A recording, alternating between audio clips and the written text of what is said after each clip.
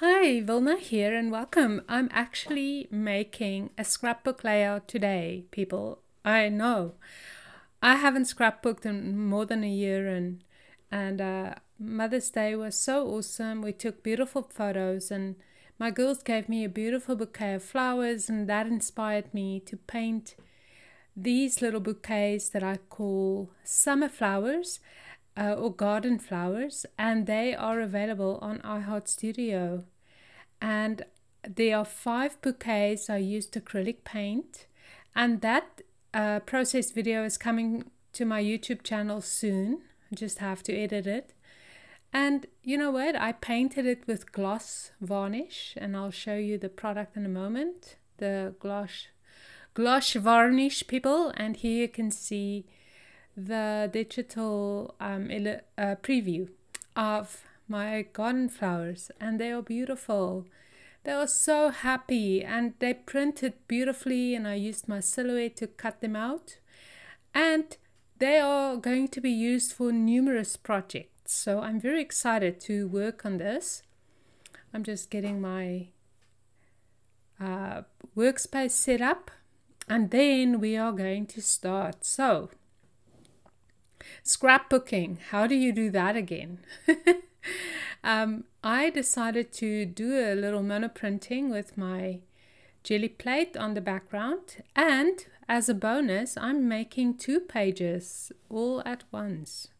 I know right this video is just getting better so okay a little rose pink a little white and a little magenta quinacridone magenta and I'm just mixing it with my palette knife and then I'm like why why should I use a roller? The palette knife can work fairly flat so I just scraped it through on my Gelli plate and then I'm like well probably the people that does printing are gonna scream at me let me put the roller on there and then you press. Voila.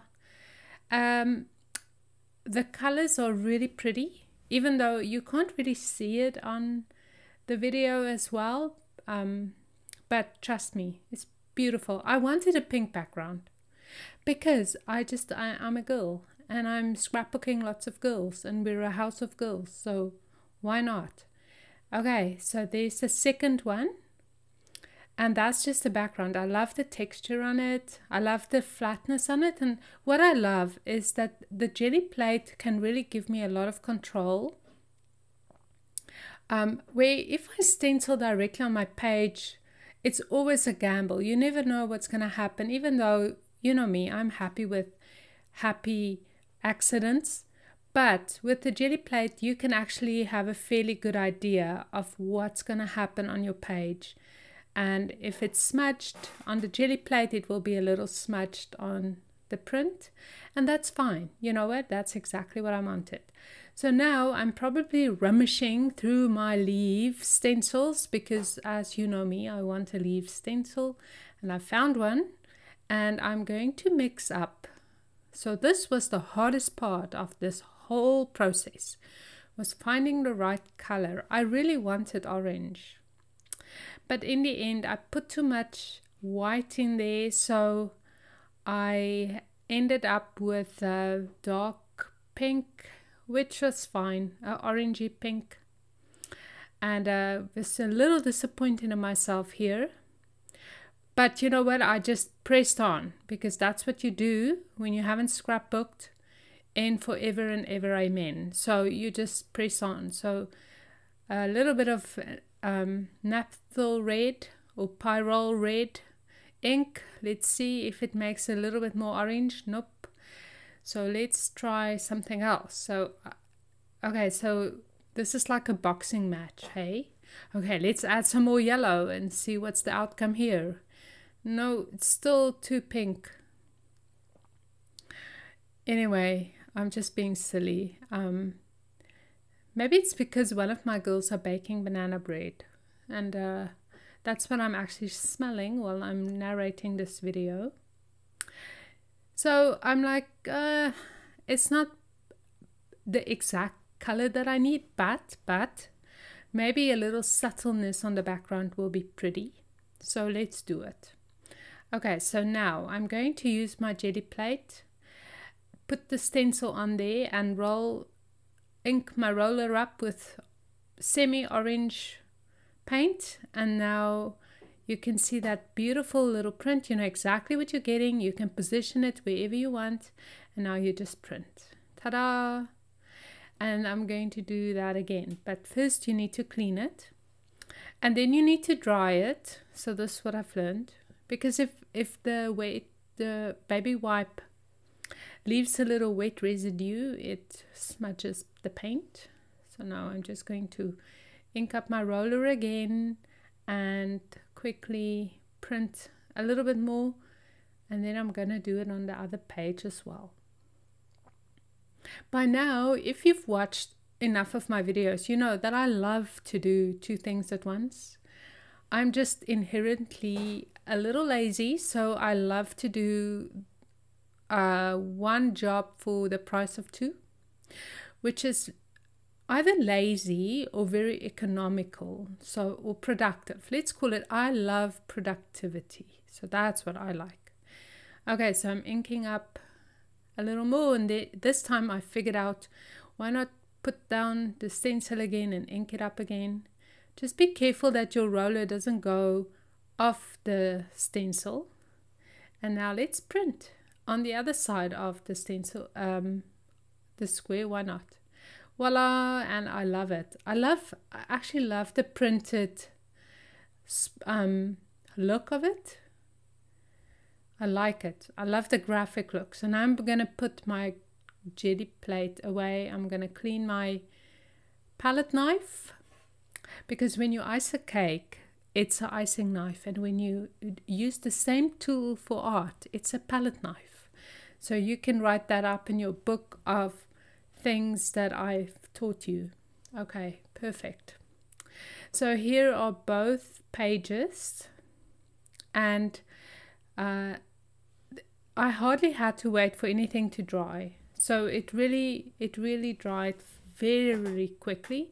And I decided I'm going to put one horizontal and one in a portrait. And here's my photographs. And I actually just shows you how long ago I've scrapbooked because when I was looking for um, photo print paper, I only had one sheet. I could only find one sheet. It's horrible. So I had one chance to do it right, and the printer didn't print. I did the settings wasn't hundred percent right. It, the contrast was a little heavy, but you know what? I don't care because at least I found two decent prints and I can make two scrapbook pages so I'm very happy. So there you go.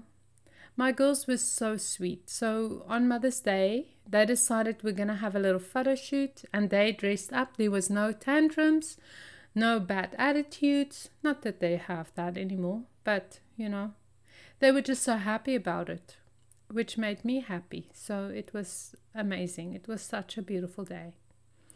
And here are the bouquets, and I'm just placing them and figuring out which one I want to use. And just cleaning up the cut file. So there were one or two white pieces I didn't remove.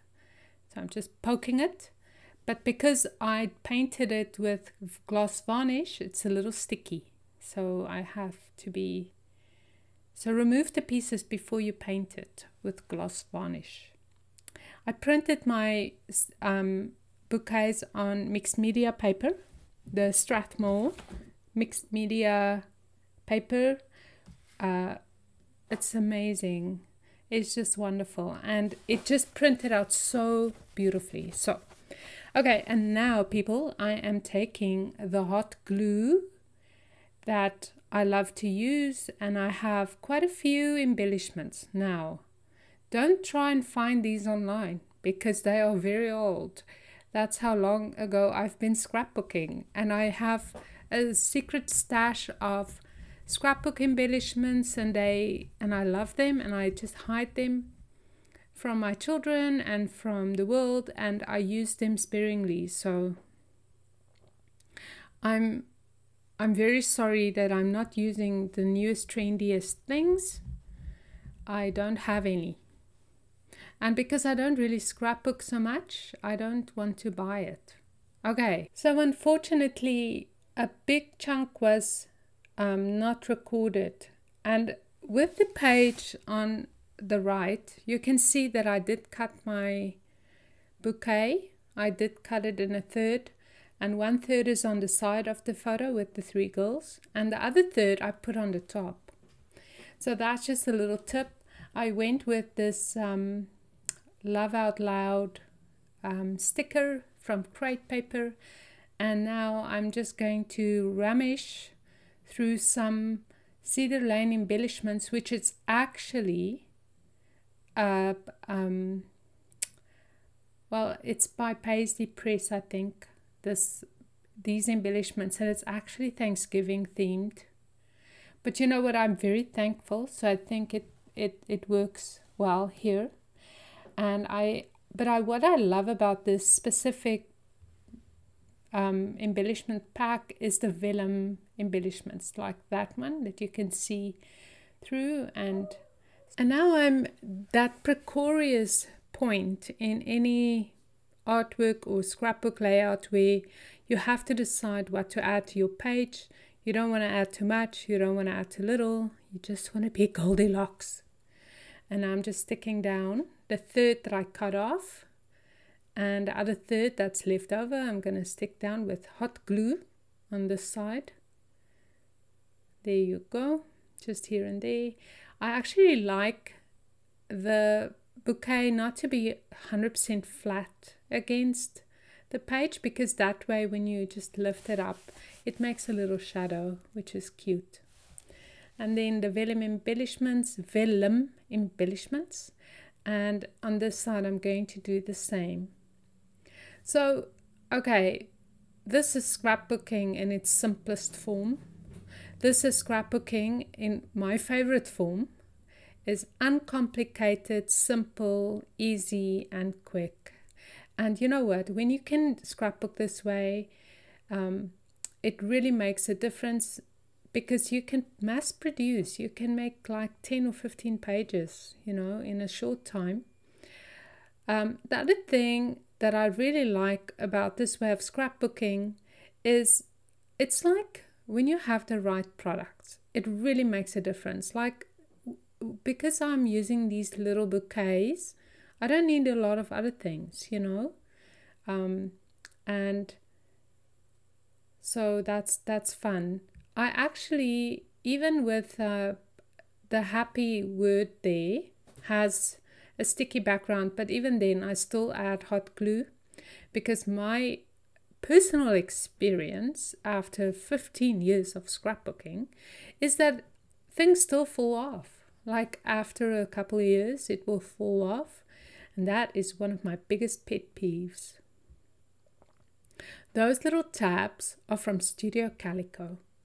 Yeah, that's how how ancient and vintage this scrapbook layout is. Now I'm going to cover my photos because I want to drop ink and this is beautiful deep violet.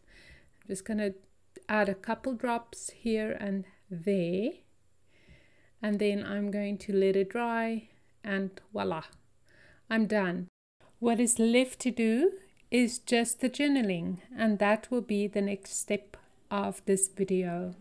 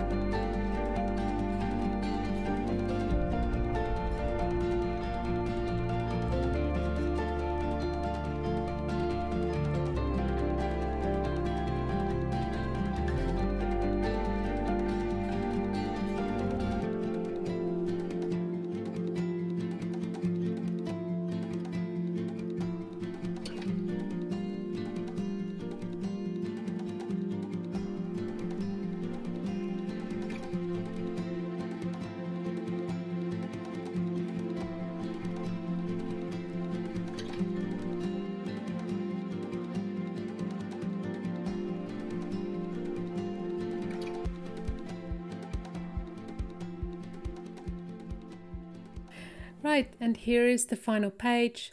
I, I was debating within myself if I should mount it on a different pattern paper like I do usually.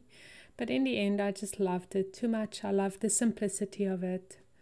And here you can see the final page. Isn't this pretty? So, so pretty. Um, the girls, especially the girls.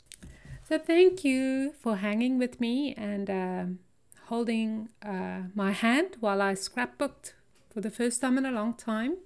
I really appreciate your kind comments and uh, see you on the interweb soon. Bye.